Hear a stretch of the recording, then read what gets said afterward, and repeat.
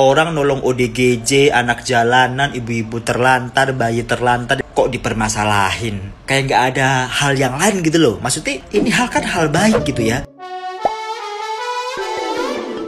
Hola netizen yang tercinta, kabar terbaru Pratio Novianti terkait nasib 10 anak asuhnya ternyata akan dikembalikan ke Mensos. Pihak Kemensos bakal mengembalikan 10 anak asuh Pratio Novianti asalkan penyelidikan di Baris Krim selesai serta mengganti akte notaris yayasan menjadi pelayanan sosial anak terlantar. Hal tersebut disampaikan kepada Seksi Layanan Rehabilitas Sosial Gunawan saat bertemu dengan Kang Deddy Mulyadi yang tengah menyambangi RSPA di Sentara Handayani Jakarta Bambu Apus. Awalnya dijelaskan Gunawan bahwa yayasan yang didirikan oleh Pratiwi Novianti berdasarkan surat indikasi menurut Bareskrim mengarah ke tindak pidana perdagangan orang atau TPPO. Dengan adanya laporan itu, pihak Kemensos dan Bareskrim lantas mengambil paksa anak-anak asuh yang dirawat oleh Pratiwi Novianti. Gunawan menegaskan bahwa pihaknya hanya merawat anak-anak Pratiwi Novianti, bukan untuk diberikan sebagai adopsi orang lain.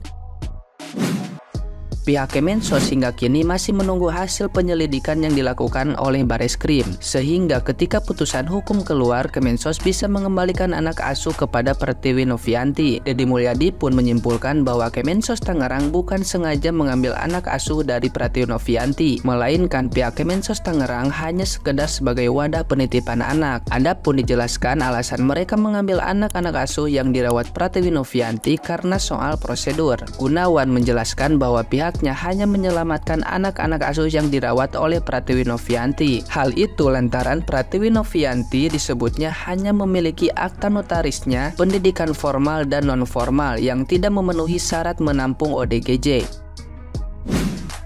Menurut Gunawan, Novi tidak memenuhi syarat bina sosial bukan bidang anak. Lebih lanjut, Kang Dedi menyarankan untuk membantu yayasan yang didirikan Novi. Menurut Kang Dedi, seharusnya pihak pemerintah mendukung hal yang dilakukan oleh Novi. Lebih lanjut, Kang Dedi menjelaskan bahwa kesalahan Pratiwi Novianti merawat anak-anak asuh karena aspek prosedur yang dianggap melanggar aturan. Dijelaskan Gunawan, yayasan yang didirikan oleh Pratiwi Novianti berdasarkan surat indikasi menurut Baris Krim mengarah ke tindak pidana perdagangan perdagangan orang atau TPPO. Nah, gimana nih menurut netizen yang terhormat? Silahkan berkomentar ya. Membahas tentang masalah Kanovi ini sebenarnya ada maju mundur maju mundur gitu aku ya. Karena komen tentang pemerintah ya tahu sendirilah malas gitu. Malas banget sebenarnya.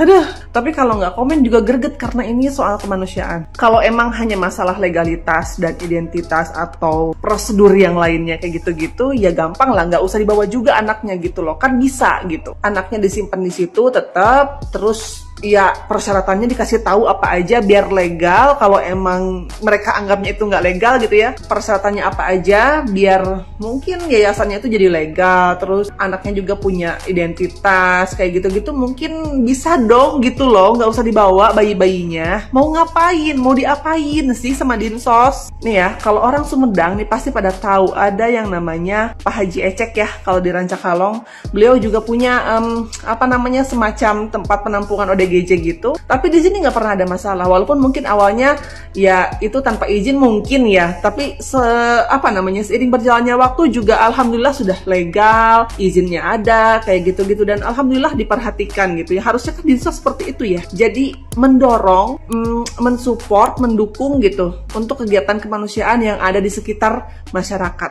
Harusnya kayak gitu ya. Nggak usah jauh-jauh deh. Sekarang kan zamannya sosmed kan. Terus banyak juga gitu konten kreator, selebgram, influencer bla bla bla yang memang kontennya itu berisi kegiatan sosial gitu kayak ngasih orang duit gitu kan, ngasih orang makanan kayak gitu-gitu. Kenapa sih nggak disupport gitu kayak misalnya mungkin dapat penghargaan dari pemerintah gitu kayak misalnya konten kreator sosial yang sangat menginspirasi misalnya kayak gitu. Kenapa nggak kayak gitu coba? Kenapa nggak didukung? Kalau didukung kan lebih semangat lagi orang mau berbuat baik gitu ya Walaupun ya mungkin hanya sebatas konten, tapi nggak apa-apa. Lama-kelamaan jadi kebiasaan kan bisa. Contohnya nih ya, yang kita sering lihat adalah Pandawara gitu. Atau orang-orang yang secara personal masing-masing dengan uangnya sendiri ngasih ke orang lain, walaupun dikontenin misalnya gitu. Kayak Fahrul Hadid misalnya, kan dia suka ngasih ke orang kan ya. Kenapa sih nggak diapresiasi sama pemerintah?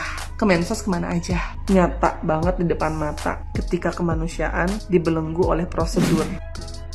Jadi menurut aku yang juga pernah berkecimpung di dunia sosial, aku di sini pihak yang netral ya. Jadi sayangnya eh, pemerintah ini terlalu terburu-buru ya soal sepertinya anak-anak bayi ini sudah sangat membutuhkan identitas ya sudah akan masuk sekolah gitu. Padahal mereka masih menyusui ya masih pakai popok.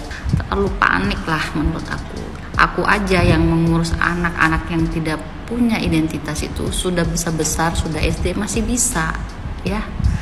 Masih bisa kita dapatkan identitasnya. Jadi e, buat Kak Novi juga silahkan diurus di notaris, dibunyikan kegiatan-kegiatan yang ada di situ seperti merawat memelihara ODGJ dan juga anaknya. Itu harus dibunyikan di akta notaris.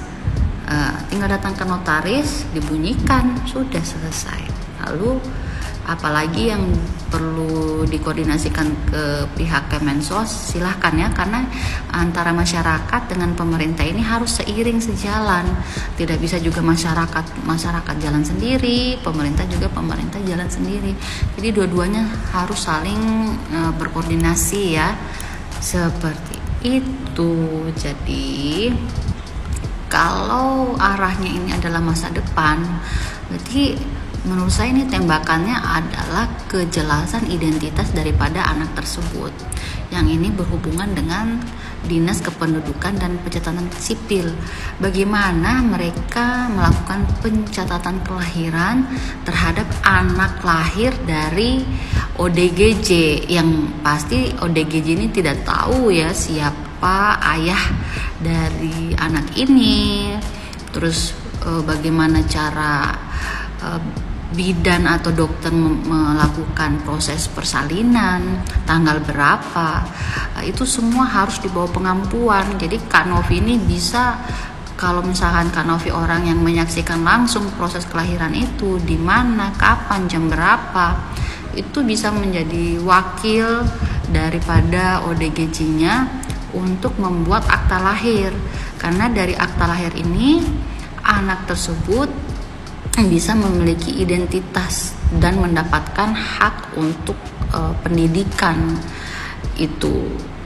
Jadi selamat berjuang Kanovi dan pemerintah untuk didampingi Kanovinya ada orang sebaik itu tapi kayak sama pemerintah ternyata kayak bisa dibilang gak dianggap ya. Jujur aku sampai bingung kenapa sih dinas sosial ini ngambil anak-anak teknopi kenapa sih nggak dibiarin aja di rumahnya teknopi terus kayak sambil nunggu pemberkasan pemberkasan selesai gitu. Kenapa harus diambil aja dibawa? Terus pengasuhnya juga dibawa nggak boleh pulang lagi. Semoga dengan banyak yang speak up uh, didengar sama Kemensos dan uh, pihak pemerintah lainnya dan Teknopi bisa segera dibantu anak-anaknya cepat dikembalikan?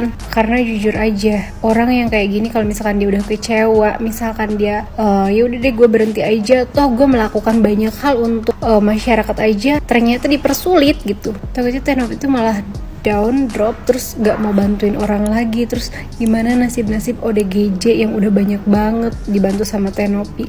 Berarti nanti nggak ada lagi dong yang peduli sama ODGJ ODGJ itu. Kalau menurut aku dari Dinsos harusnya berterima kasih banyak karena meringankan beban Dinsos gitu. Ya nggak sih? Jujur pertama kalinya aku ngeliat podcastnya Tenopi itu aku kayak sepanjang podcastnya uh, aku play itu aku nggak berhenti berhentinya berdoa ya Allah semoga Tehnopi cepet selesai ya kasusnya.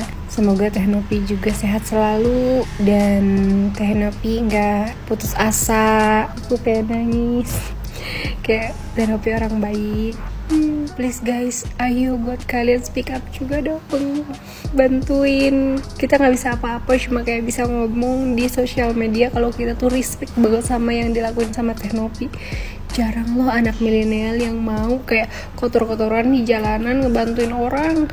Kalau aku pribadi pun aku belum tentu bisa kayak Teknopi Kenapa pemerintah dalam hal ini Dinsos Tangerang, Kemensos dan juga Baris Krim tega melakukan hal ini? Hmm, tenang-tenang saudara-saudara. Pemerintah melakukan hal ini sebenarnya adalah langkah preventif karena pemerintah harus make sure bahwasannya yayasan yang dikelola oleh YouTuber Pratiwi Novianti itu benar-benar uh, menjaga dan juga merawat bayi-bayi yang diadopsinya dan tidak melakukan pelanggaran hukum. Ya soalnya kalau misalnya kita mau ngadopsi anak aja syaratnya ada bejibun, ada cek kesehatan, ada cek kejiwaan dan juga syarat-syarat lain. Apalagi kalau kita mau membangun yayasan sosial yang bergerak dalam pengasuhan anak, pasti ada standar yang harus dipenuhi. Tapi bukan berarti pihak pemerintah di sini tidak mempunyai catatan. Ingat, pihak pemerintah di sini mengambil paksa anak-anak yang diasuh oleh Teknovi dan ini bisa menyebabkan trauma dan juga ketidaknyamanan pada si anak. Seharusnya birokrasi kita ini nggak kaku-kaku amat. Bisa kali pihak pemerintah duduk bareng dengan pihak yayasan untuk membicarakan hal ini. Seharusnya pihak pemerintah itu merangkul dan mendukung inisiatif yang mulia dari dari pihak Teknovi. Dengan cara apa? Dengan cara membantu Teknovi dalam melengkapi kelengkapan administratif supaya inisiatif yang mulia ini bisa berjalan kembali. Semangat ya Teknovi, kita mendukung perjuanganmu, kita mendukung Teknovi untuk melengkapi syarat-syarat administratif sehingga Teknovi bisa menjalankan kembali kegiatan sosial Teknovi.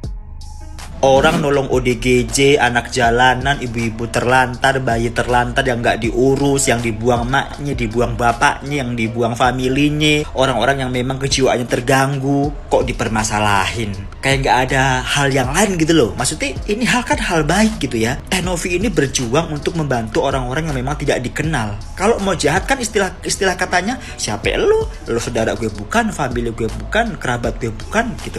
Bahasanya kalau mau jahat tapi ternyata Tenovi tapi kan enggak rasa sosialnya itu tinggi. Nah kita sebagai masyarakat atau mungkin orang-orang penting seperti anda ini dukung support didorong. Ayo ayo saya bantuin bareng-bareng. Begitu. Bukannya malah dipermasalahin hal-hal yang menurut saya jatuhnya kayak lucu anda ini ya. Maksudnya eh nggak ngerti deh Tenovi ini berjuang loh tanpa pamrih bahasa kasarnya ya. Dia juga rela mem, apa ya membuang waktunya, rela sana kemari capek di jalan, kepanasan, bla bla bla bla bla bla untuk menolong orang gitu loh. Kecuali kalau Tenovi menolong mereka terus mereka dibikin budak, dibikin ngemis apa, nah boleh deh tuh lo permasalahin. Ini kan kagak, kagak. Bener-bener nauzubillah bin jalik.